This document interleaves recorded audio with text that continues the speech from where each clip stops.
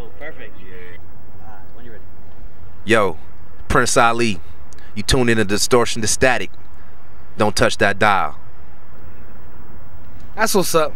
So uh, you got a new album. Uh, it's your second album, right? Uh, yes. First one was um, uh, was a mixtape, you know, for lack of a better word, that was that had all original production on it, except one song, which was kind of a, a bootleg instrumental type thing, where we kind of, you know, uh, did what has become the mixtape thing, where people grab, you know, other people's instrumentals. So I, I flipped the Van Hunt song, Okay. you know. But other than that, it was uh, all original music, and that's called Corner Ensemble.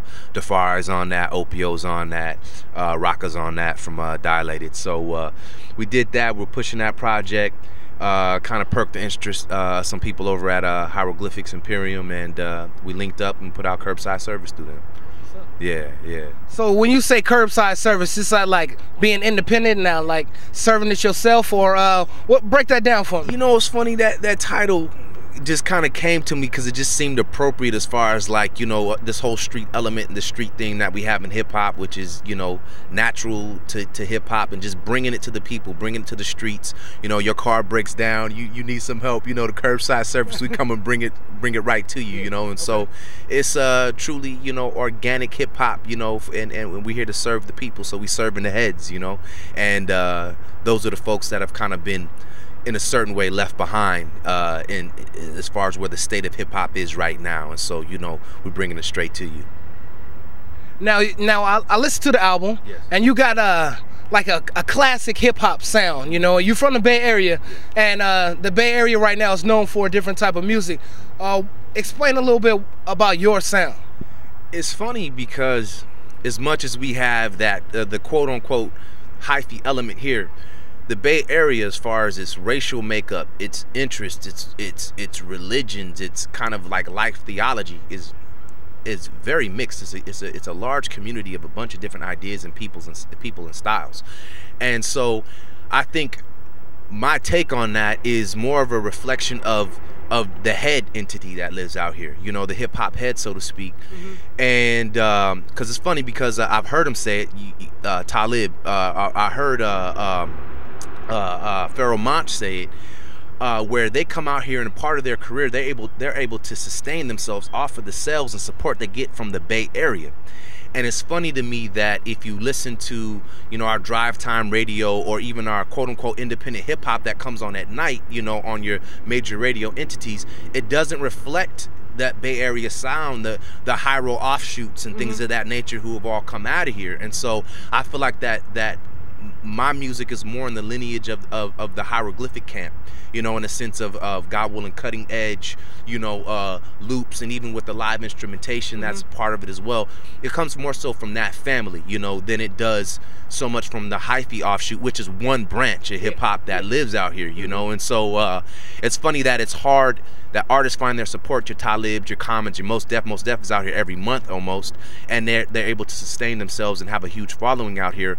But the actual support that bay area artists that would fit in that category of your quote unquote conscious mcs for lack of a better word that um it's funny that there's not more of that coming out here. You got a couple. You got your your Zion I, and you got you know of course your Hiero your Hiero Cats, and and then you got your more abstract kind of Kev Choice type thing. But it uh it could definitely live and breathe out here much more than what it does, and it should, you know, because it, it's more of a reflection of so many different type of people that live out here. You know. yeah. Now, um, so you you're you're a hip hop artist, but you're also a lyricist. You know what I mean? I see that you sounds like you really take time in writing your lyrics, like that uh that song. uh, War Wounds, like the song War Wounds. Now, can you touch on that a little bit? Because that song is like, it's got like a deep meaning to it. Yeah, you know, war wounds. When I write, I basically do. First thing I do is I put a bunch of headings on the top of my page. So Bismillah ar-Rahman ar-Rahim, Alhamdulillah, like all these little prayers at the top. And then after that, I have to trust. You know, is basically how I approach it to where I just let the song come to me.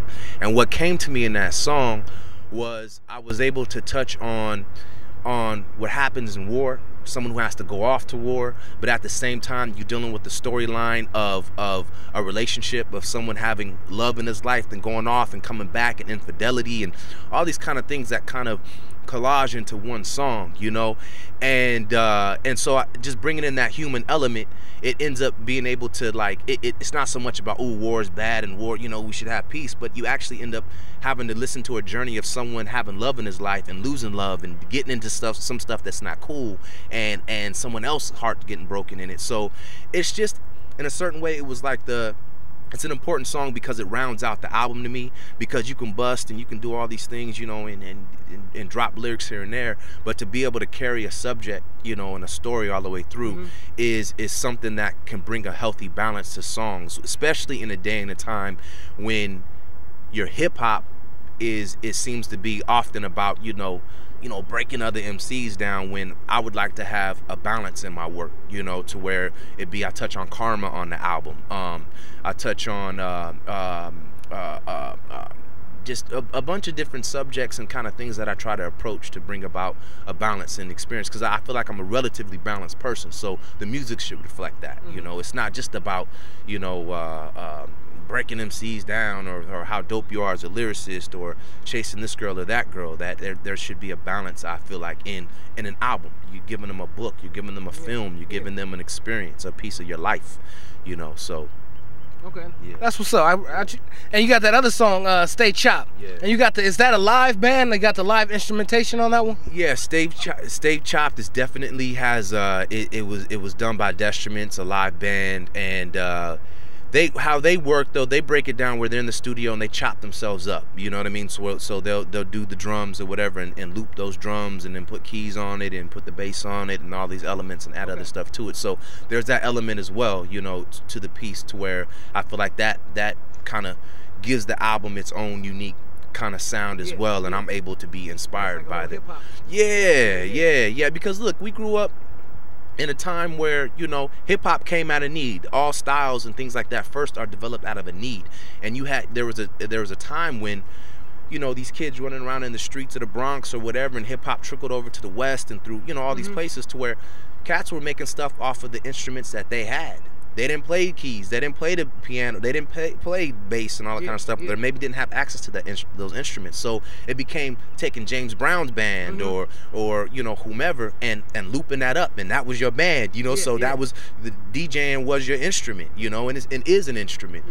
And so when we now we've grown up, hip hop is 30 years old, to where you got people who were who were you know five years old when some of the stuff was going on and learned how to play instruments and so are able to be the Jay Dillas who you know take a loop and then add his own drums to it actually playing drums you know what I'm saying so uh, it's it's a real blessing when you're able to hook up with live musicians of any sort or any camp you know mm-hmm. to be able to like round the album out yeah yeah you know and so it's a it's a it's, it's a real blessing. It's funny, and that's something too that's always kind of existed in Bay Area hip hop or has for a while. That, that live that live instrumentation yeah. where at the time maybe your East Coast ear would be like that feels a little overproduced. You know what I mean?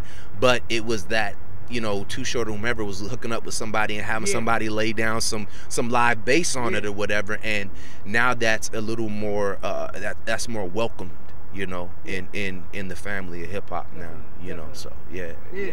Now, um, if you had a choice of like to make like a super group, like like the Dream Team All Star group, Like lyricists, DJs, and whatnot, what have you, who who would you put put in that group with you? Wow, man, that's a phenomenal question. I'm not ready for that one. Woo, man. Well, you know, I have. Sometimes I don't agree with some of the things he says, you know, but what's beautiful about that is that that's somebody's and uh, there's no MC where I agree with everything he says, so I, I should start out by saying that. Yeah. But I really love Nas's ability to put together a song, you know, and to to, to carry out to, to carry out stories and albums and, and in a way where you don't even know where his rhyme is falling, you know, that I've learned so much from Nas, you know. But I would I would put Nas in there. Mm-hmm. I, will give you I'll say I'll give about five MCs that okay, I think yeah, are cool. I think Nas is a phenomenal MC. I think Planet Asia is the most under, underrated MC, if not in the West Coast, in the country. You know, really. Uh, if he was from New York and this was 1994, he would have he would have been up there with anybody. You know, in my opinion. You know, yeah. Casual hasn't gotten his due. I don't think as well. Uh, who who will bring it to anybody at any time. Um,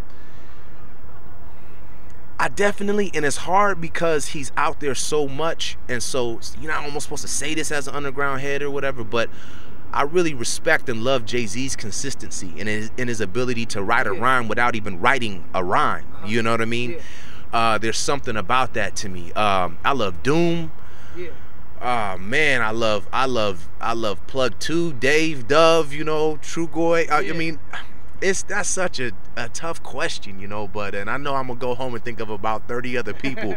yeah. Um, and then also Pharoahe. You know. Yeah, okay producers wise, who I really respond to, mm-hmm. God bless the dead. I think Dilla, if if he isn't the greatest producer of all time, he is he is in the top three. You know, um, mm-hmm. love Madlib. You know, Alchemist, uh, Primo. Yeah. You know, Pete Rock. Yeah. You know, like yeah. you can kind of the list kind of goes on. you know what I'm saying? Um, uh, you know, and and then just it. So that's kind of like my, my scope of people that I kind of like find, you know, appealing to me and uh, could listen to all day, basically, you know. Mm-hmm. Uh, so, you know. That's what's up. Yeah. Now, the era hip hop that you came up in, that I came up in, we came up in. Yeah. Now, uh, do you feel it coming back, like with artists like you mm-hmm. and uh, the stuff that uh, Kanye is doing and uh, other artists? You feel like it's becoming more popular again? It's coming back. That's a another great question. Um, I I don't necessarily feel like hip hop is coming back. What I do feel like is is it's becoming more of a boutique art form. Hmm. In a way in which jazz has carried through. Yeah. There was a time when when it was a it was a regular thing to go see your Herbie Hancocks or your John Coltrane. There's a pocket when like these cats were around and it was a big deal and they could draw a crowd, you know. But now it's like if they're at Yoshi's, that's the spot where you can go see them.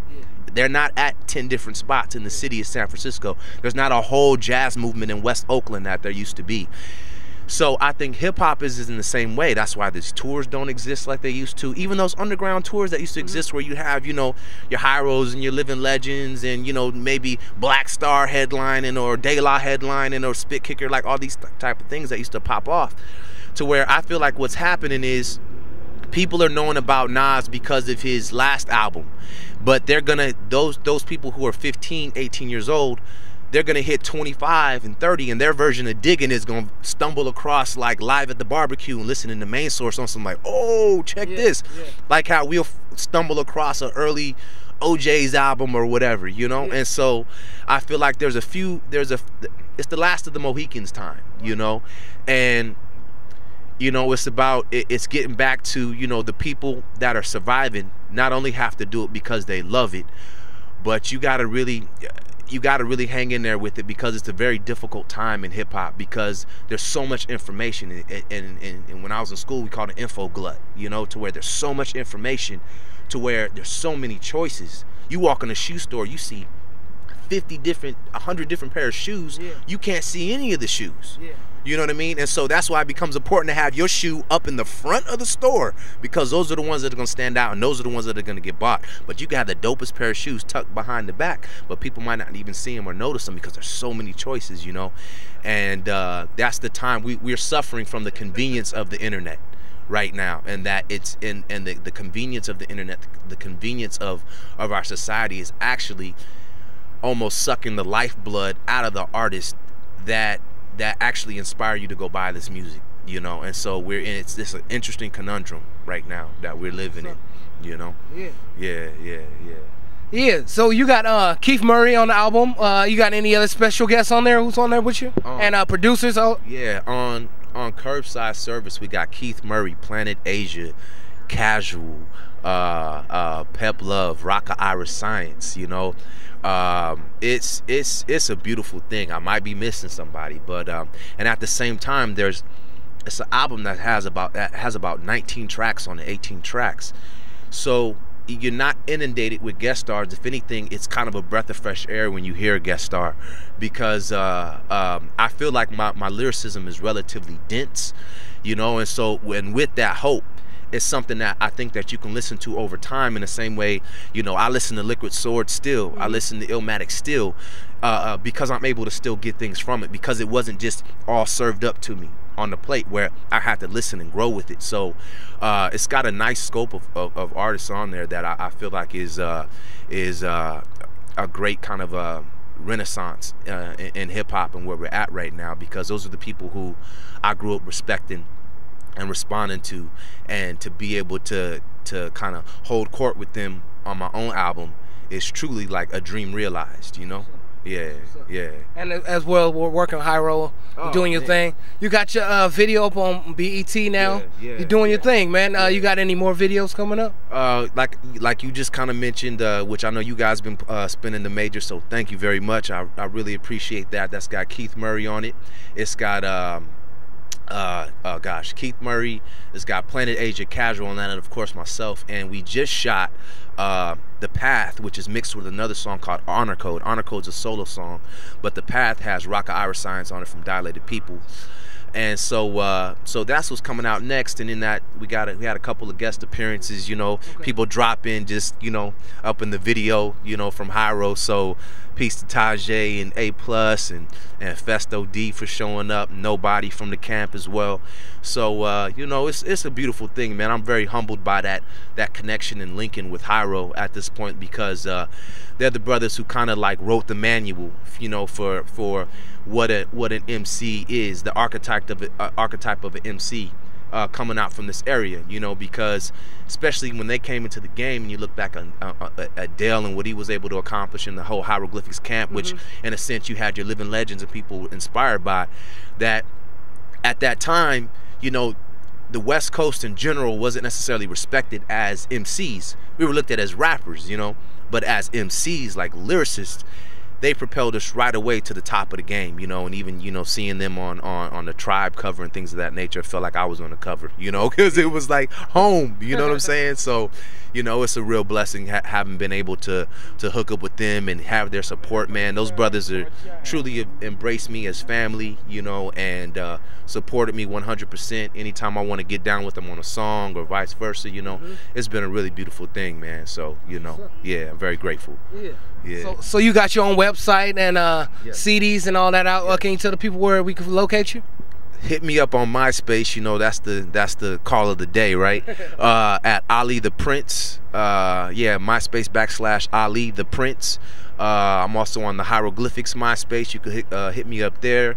Um, so uh, yeah, you know, keep it simple, but check me out there, man. And uh, here's some more music. We got some other things coming out. Uh, I just did a track with uh, Steele from Cocoa Brovaz and and UG from Cella Dwellas and Casual as well. You know, uh, did something with Killah Priest recently. You know, so okay.